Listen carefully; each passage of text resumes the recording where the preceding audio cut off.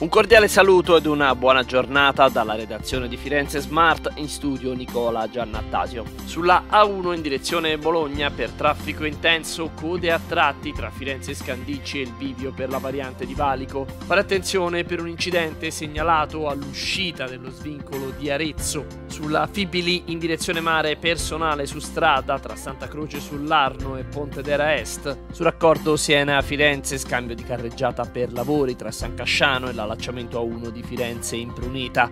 Sulla regionale 2 Cassia, restringimento di carreggiata nei comuni di Barberino e San Casciano Val di Pesa all'altezza del chilometro 270. Muoversi in Toscana è un servizio realizzato in collaborazione con Regione Toscana, Città Metropolitana di Firenze e Comune di Firenze. Buon viaggio!